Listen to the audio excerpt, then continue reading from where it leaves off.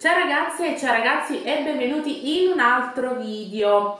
Oggi voglio insegnarvi una nuova tecnica per coprire le occhiaie e um, questo periodo ho un po' sperimentato perché se avete visto l'altro video, quello in cui uh, faccio una specie di get ready with me, in cui vi faccio vedere tutte le collezioni, o meglio tutti i prodotti che avevo acquistato delle varie nuove collezioni, vi ho fatto vedere anche la palette di correttori di Wycon, quelle con le treccialdine in cui c'è quel colore... Um, meravigliosamente pericoloso, ovvero il colore aragosta, che è un colore che uh, va tantissimo. Se voi uh, avete Instagram, suppongo che lo abbiate, oramai tutti hanno Instagram, uh, vedete quelle microclip in cui ci sono queste ragazze che prima mettono sul viso tipo 50 colori, il rosso sotto agli occhi, punti di verde, marrone, bianco, poi dopo sfumano con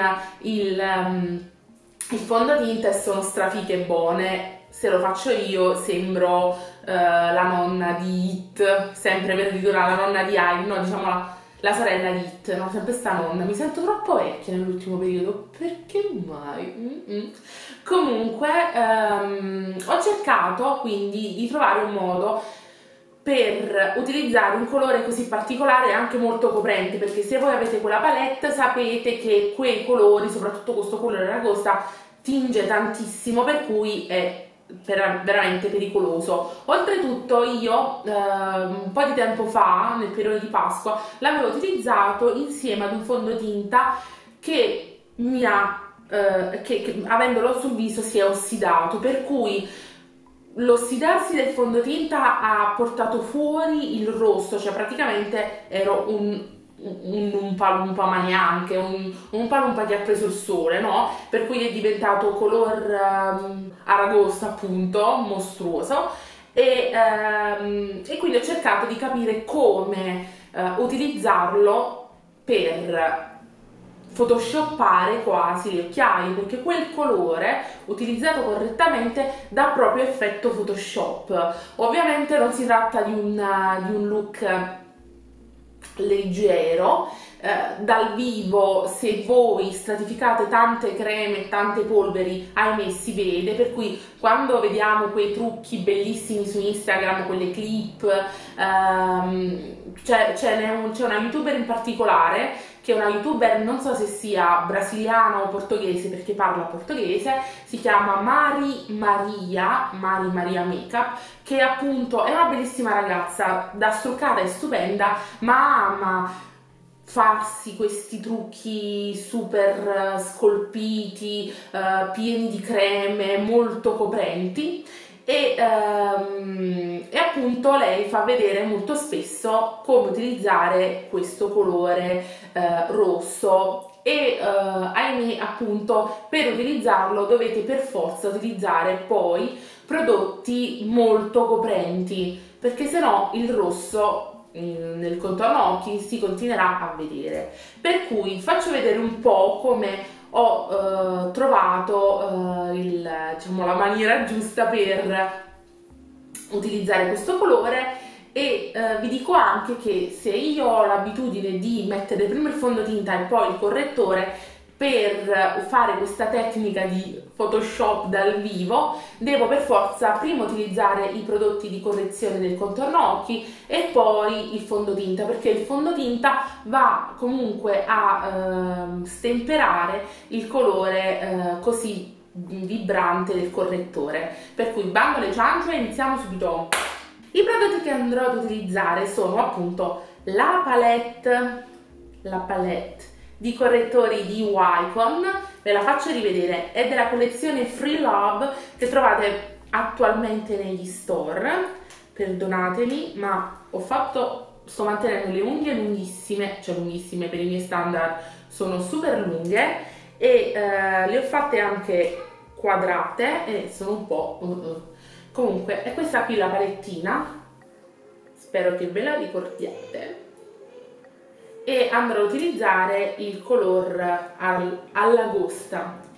Salmone aragosta color aragosta che è questo qui.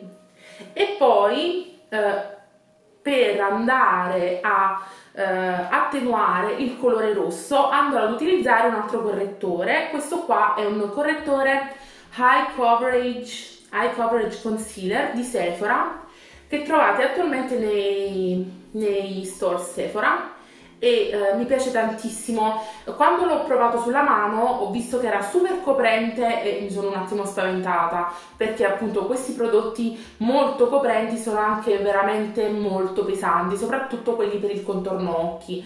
Eh, io non ho un contorno occhi segnato, non ho neanche qui le rughette, per cui non è questo il problema. Il problema è che dopo un po' io tendo ad avere la eh, pelle grassa, per cui se il prodotto mi occlude estremamente i pori, poi dopo se ne va via, è una schifezza. Invece, quando poi l'ho provato sulla mano, ho fatto poi un giro tra gli altri stand, mi sono resa conto che il prodotto, benché così coprente, si fissava. E allora ho detto perché non dare una chance a questo prodotto? E allora ve lo vado a mostrare e quindi metterò insieme questi due um, questi due prodotti. Andrò a fare solo un occhio quindi solo una parte del viso con la correzione in modo tale che poi alla fine voi vediate la differenza tra una faccia e l'altra. Let's go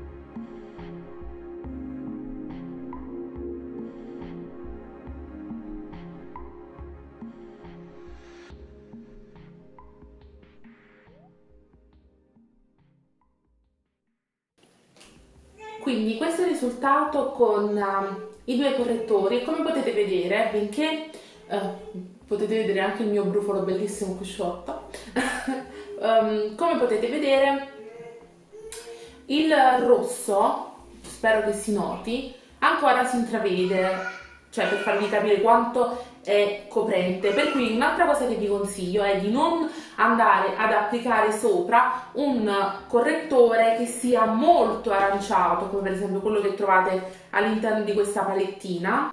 Questo qui che vedete al centro è molto molto molto molto molto pescato e anche questo qua chiaro Uh, comunque tende a essere um, sul pesca per cui se andate a metterlo sopra a questo correttore eh, arancione vibrante mh, mm, sembrate che avete le rote di fuoco come a Caronte. Invece, eh, se utilizzate, benché io non sia una grande fan dei correttori chiari, ma comunque se ne utilizzate uno beige chiaro, eh, quest'ultimo si andrà a miscelare man mano che lo andate a picchiettare con il colore arancione e quindi andrete a creare un colore pesca intermedio che comunque rimane un colore correttivo. Ora vado a stendere il fondotinta e andrò a miscelare il Marc Jacob, c'è Jacob, c'è Jacobs, eh, è un po' caprese questo Jacobs, Jacobs um, nella colorazione um, Ivory Medium e poi andrò a miscelarmi un po' con un fondotinta sempre fluido, leggermente leggermente più scuro in modo tale da non essere proprio bianchissima e vediamo la differenza tra uh, le due parti del viso. E questo è il risultato finale.